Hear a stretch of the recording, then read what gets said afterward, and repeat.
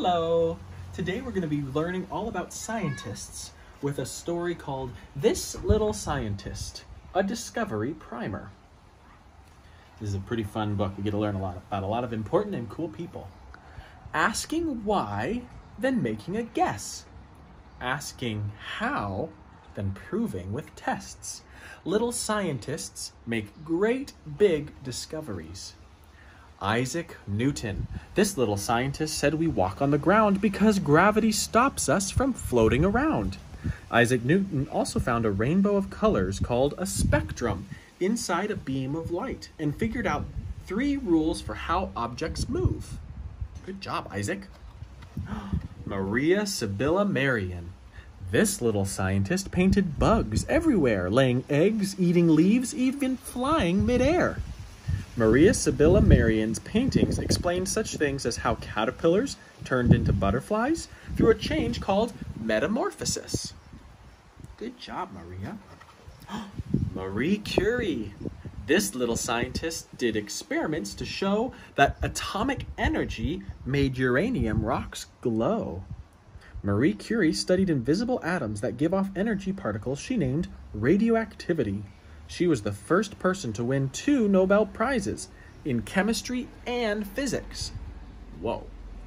Good job, Marie. Albert Einstein. This little scientist had wild white hair. He was famous for writing E equals mc squared. Albert Einstein's equation means that energy and mass are the same thing in different forms. He said nothing can go faster than the speed of light, 186,282 miles a second. Wow, that's fast. Grace Hopper. This little scientist wrote code that was new to tell computers in words what we want them to do.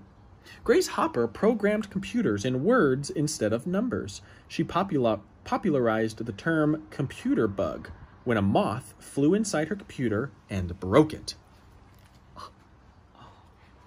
Katherine Johnson. This little scientist got the math right to help NASA astronauts launch outer space flights. Katherine Johnson solved hard math problems on paper before trusted computers were available, so space heroes like John Glenn could safely orbit the Earth. Jane Goodall.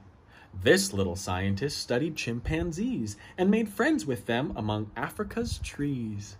Jane Goodall discovered that chimps hug their friends and make tools like spoons out of sticks. Before this, people thought only humans made tools. Good job, Jane. Sau Lan Wu. This little scientist has a brilliant spark. She helped find particles called gluon and charm quark. Sau Lan Wu studies particles, the smallest building blocks of our universe. An atom's protons and neutrons are made of quarks stuck together by gluons. Way to go. Stephen Hawking.